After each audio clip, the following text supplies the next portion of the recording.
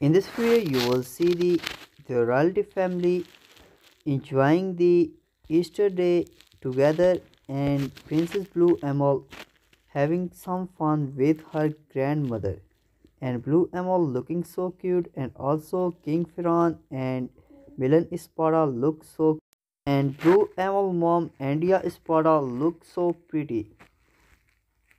So guys make sure you watch this video till the end if you haven't then don't forget to subscribe our channel guys let's enjoying the video and give your feedback about this reaction